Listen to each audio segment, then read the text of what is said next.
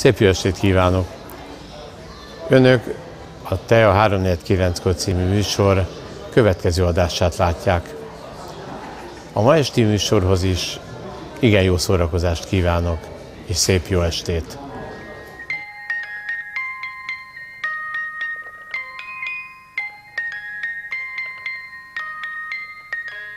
Jó estét kívánok, kedves nézőim!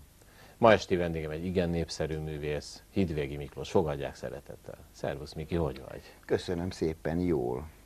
Lázadozóan, fáradtan. Hála jó Istennek, itt kopogom le balkézzel. Nagyon sok munka van, bent a színházba is, meg máshol is. Úgyhogy készülünk egy lemezfelvételre, akkor vannak most terendőim. Hát tudod, amikor az ember szponzor után futkos, egyeztet, de nagyon bízom benne, hogy egy klassz dolgot fogunk létrehozni. És hát hál' Istennek a színházban is most volt bemutatónk, a végőzbe, hogy azt most megcsináljuk németül, és azzal megyünk majd egy ilyen Európa és tengeren túli körútra is. Hát ez van a mostani.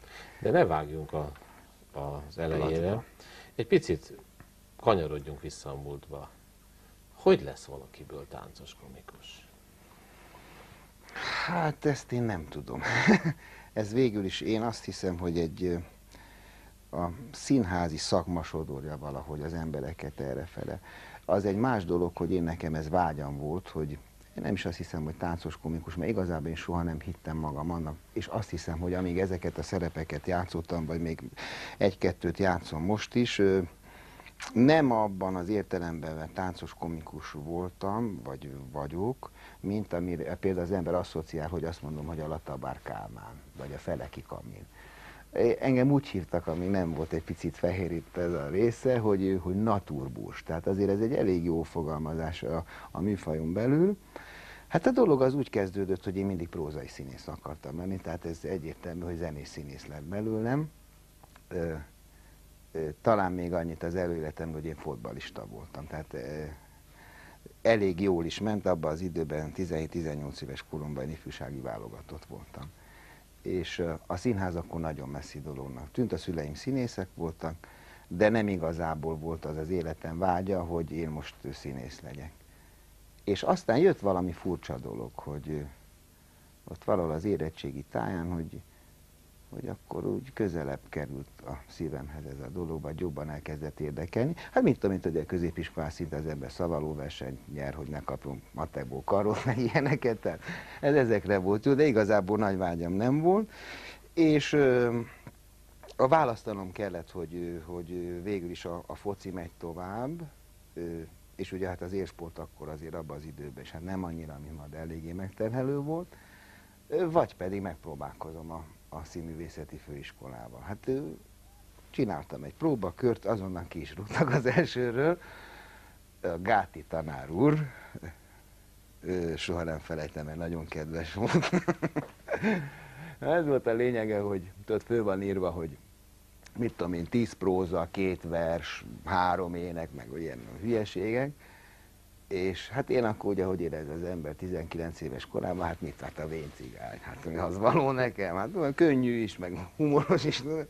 Na egy a lényeg, hogy baromira belesültem ugye a harmadik, negyedik verszak körül a dologba, és euh, akkor tényleg a Gáti volt a vezetője ennek a dolognak, és euh, végigkérdezte az összes anyagot.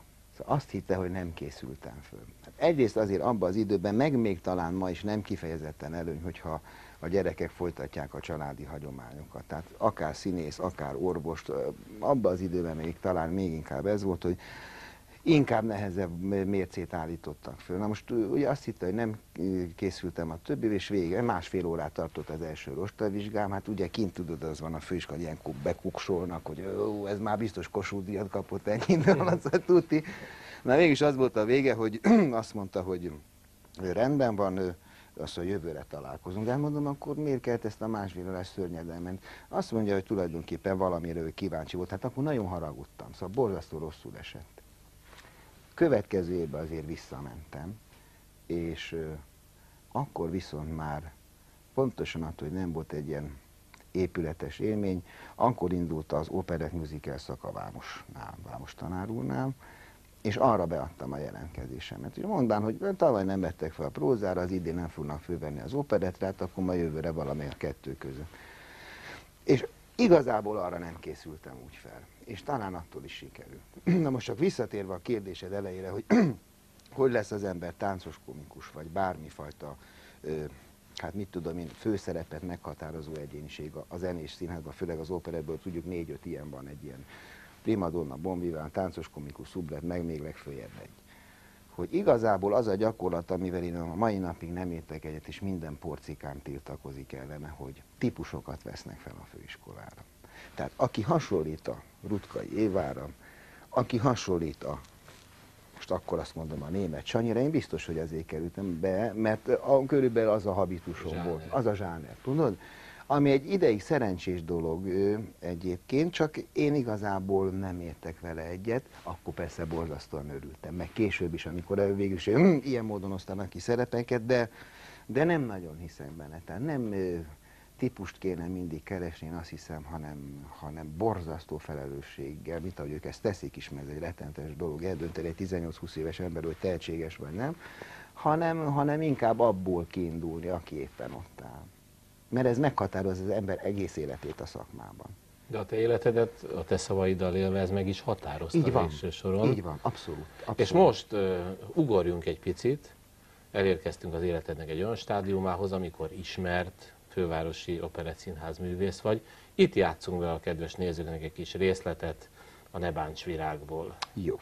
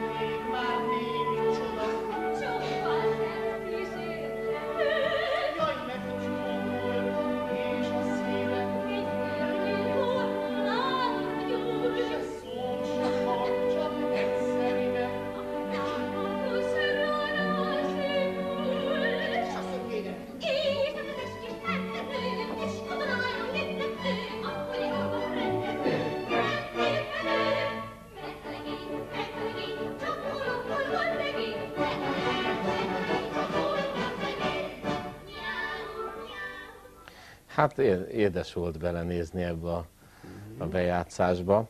Ugyanakkor nyilván neked is feltűnt, ami nekem, hogy kedves feleséged, a Oszfald Marika és a képernyőn van. Milyen érzés apropó művészférnek lenni egyúttal és kollégának?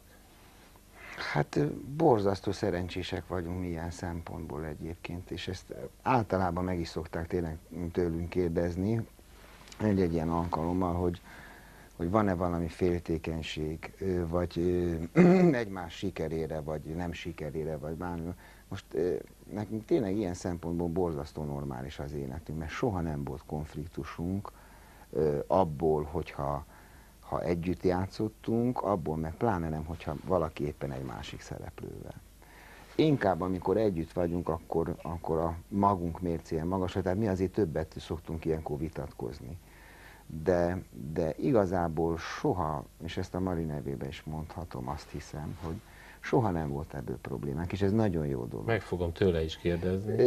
Kérdezd meg tőle, de én úgy gondolom, illetve biztos vagyok benne, hogy ez, neki is ez a véleménye, mert még csak azt sem mondanám, hogy, hogy elfogultak lennénk egymással szembe, hogyha olyan dolog van, ami mondjuk esetleg én úgy gondolom, hogy bántó lehetne, vagy talán nála is volt, persze ezt én nem tudom. Ugye azért egymás véleményére kíváncsiak vagyunk, főleg akkor, ha nem együtt vagyunk a színpadon, tehát hogyha egy másik szereposztásra látjuk egymást, de még nem volt olyan, hogy, hogy mondjuk vérig tudtuk volna sérteni egymást, és ez nem azon múlik, hogy nem mondjuk meg, hogy te itt ezt azért nem lenne baj másképp csinálni. De ilyen szempontból ideális a dolog. Váltsunk egy kicsit témát. Rólad köztudott a szakmában, hogy ma már egy kicsit háttérbe szorul a színpad. Játszol az Operett Színházban, szépen el vagy látva ott is feladattal, de én azt hiszem, ma már nem ez az elsődleges, te a jövőre is igencsak gondoltál akkor, amikor egy merőben más testidegen dologba kezdtél, nevezetesen menedzselni saját magatokat, alkotni egy színházi produkciót. Egy csodálatos lemez, CD-tek jelent meg német nyelven, amire nem volt az elmúlt 30 évben példa. Erről beszélj egy kicsit. Hát ez tulajdonképpen nekem egy több éves tervem volt. Én, igazából én elfogadom azt a képletet, és pontosan azért, mert én erre majd visszatérek, kiváltottam erre a jogosítványt, hogy maga a zenészi játszás az a fiatalok műfaja. Tehát itt lehet valaki halálosan profi 40-50 éves korában, de, de amikor az ember eléri azt, a, azt az életkort, és ez nem, nem, lehet, hogy nem kopott meg a technikai tudása, se fizikai tudása, egyszerűen a fiatal hangvasságot, ami a műfajnak a lényege, azt már nem tudja adni. Na most én ezzel tisztában voltam 25 éves koromban is. És igazából nagyon sokat dédelgettem ezt a tervemet, hogy amikor nekem váltanom kell, illetve ahogy általában váltanak az emberek egy-egy szerepkört, pláne operetben, ott elég sok boldogtalanság van, mert az ember főszereplő abból kiöregszik, és akkor van egy átmeneti időszak, amíg nem öregedett bele abba, ami már szintén jó kategória. Most ezt az időszakot érem speciál én most, és én erre számítottam is, hogy hogy eljön egy ilyen időszak az életem, és az összes ilyen vágyamat szeretném kiélni. Ebbe természetesen benne van az, hogy, hogy bosszantott rettenetesen az, hogy, hogy tulajdonképpen 40 év óta nem jelent meg operetlemez teljes felvétele. Tehát a régi nagyoknak van még, és aztán a mi, mi generációnk úgy, ahogy van, kizuhant. Tehát ez igazából senkinek nem, nem, nem érezték nem talán, szívügye. hogy szívügyek lehetne. Én meg ezzel nem borzasztóan tiltakozom, mert azért és itt engednek, hogy ha lehet, hogy szerénytelennek hangzik ez a dolog, de azért azokat, azt a pár embert, aki ezt csinálja, azért ezt azt hiszem, hogy szakmailag kiválóan csinálja, és most abszolút kiveszem magam ebből, vagy az én színész életemet, tehát itt beszéltünk a Madiról, a Cserelaciról, a Jankovics Jóskáról, de bárkiről, aki tulajdonképpen abba az életkorba került, ahonnan már kifele megy, és igazából nincs nyoma, bocsánat, nincs nyoma, nincs felvétel nyoma, és akkor én azt mondtam, hogy én megpróbálok magánkiadásban valamit létrehozni, amiből színházi előadást is szeretnék csinálni. Ahogy a dolgok alakulnak a mai szakmai életben, én azt hiszem, hogy talán helyes úton járok ebben a dologban. Végülis egy nem magánszínházról van szó, hangsúlyozom, és főleg nem konkurenciája az Operett Színháznak, ez borzasztó fontos. Egy másik fajta felállásban próbálom én csinálni, valóban a legnagyobb sztárokkal, tehát a legutóbbiban Pitti Kati, ugye tudod, ő volt a címszereplés sorba, a, a, tényleg a mai sztárjai a műfajnak. Én azt hiszem, hogy ez egyfajta megoldása lehet a dolognak. Na most hát nyilván üzleti dolog is van benne, hát most ott tartunk, ahol, ahol tartunk, hogy a gatyánkat fotózgatjuk, de mert ugye hál' Istennek ez működött is egy év alatt, több mint 50 előadást játszottunk belőle, és a lemez is megjelent. Nyilvánvalóan újat kell csinálni, tehát most ez, ez nem lehet itt, nem tudom én milyen módon fölélni. Hát itt tart ez a dolog. De hát a közelvőben azért csak vannak terveid. Így van. Így van, a közeljövő terv az a Cirkusz Hercegnő című előadás, amit ugyanilyen módon csinálunk meg. Erről azért egy dolgot hagy mondjak, ennek a zenei felvétele nagyon érdekesnek ígérkezik. A, ugyanaz a csapat van, tehát az Állami Operaház zenekara, és a idei karmesterverseny győztesét a japán Isako Masahiro urat tudta megnyerni, hogy ő legyen a dirigense. Na most ez egy borzasztó érdekes dolognak tűnik, mert ugye magyar operett japán karmesterrel ilyen még biztos nem volt, de egy fantasztikus tehetségű ember. Fantasztikus tehetségű ember, úgyhogy egy nagyon nagy szakmai kihívás. Persze meg kell mondjam, hogy van benne üzleti gondolkodás is, mert hát nagyon bízom, ha csak a szűk családja fogja megvenni a lemezét, ami hát szerintem 3-4 ezer ember minimum a kis rokonság, akkor már azért nem lesz olyan nagyban. De bízom benne, hogy egy szakmailag egy nagyon klassz dolog lehet. Miklós, én csak azt kívánhatom neked tiszta szívemből, hogy minden terved, vágyad az elkövetkezendőkben, és az azt követően is sikerüljön, gazdaságos legyen minden vállalkozásod, és légy nagyon boldog, és köszönöm a beszélgetést. Én köszönöm, hogy elhívtál. Köszönöm.